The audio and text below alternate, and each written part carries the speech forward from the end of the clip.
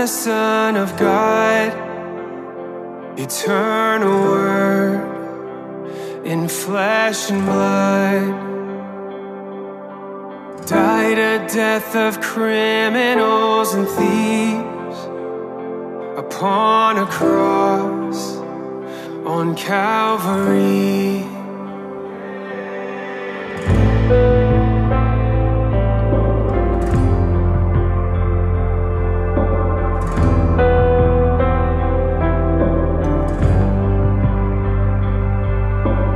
God who spoke the words that made the earth was laid to rest in stone and dirt. The Lord of life was buried in defeat. Death had won the victory.